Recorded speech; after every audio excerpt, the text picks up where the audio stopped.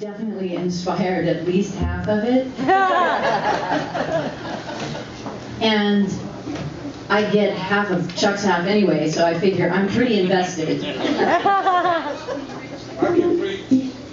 Um, the year that Chuck and I got married, we drove from Nashville all the way across the country to Los Angeles. Um, I had a song on the radio at the time called That's My Baby, which is about Chuck. And uh, he had had a big song um, just before that that he had written um, about me. And I was nominated for like female, new female vocalist or something like that at the ACMs, and Chuck was nominated for Song of the Year. And so it was like Loretta and Dew on the drive across country.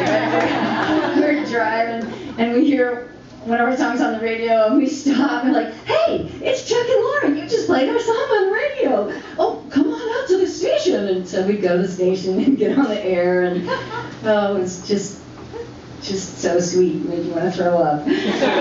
Just like um, Loretta did one time too.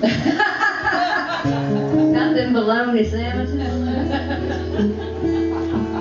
So we, we uh, midpoint on our honeymoon, we um, we went to the ACM Awards in LA, and I got to sing on the awards show, and Chuck got to accept the award for Song of the Year for this song.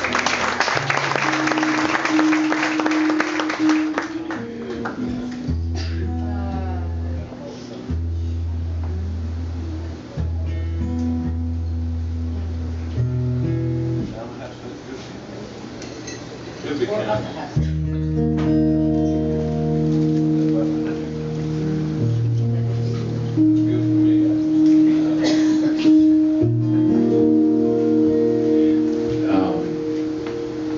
is one of my favorite songs in the world for a lot of reasons.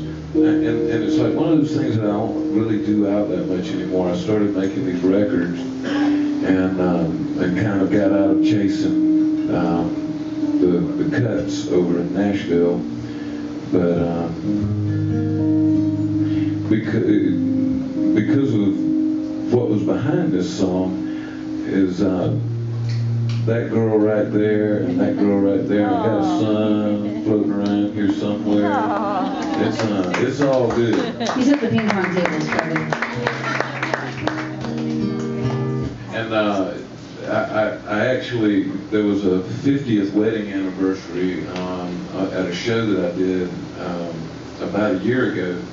And I pulled this out and played it. And uh, it was really cool because um, somebody said, man, that was really nice of you to do that John Michael Montgomery song.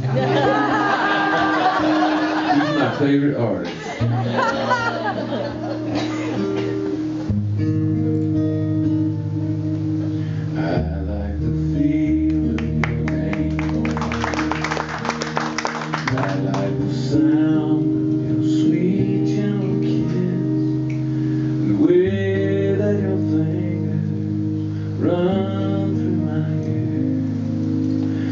how your scent lingers even when you're not there.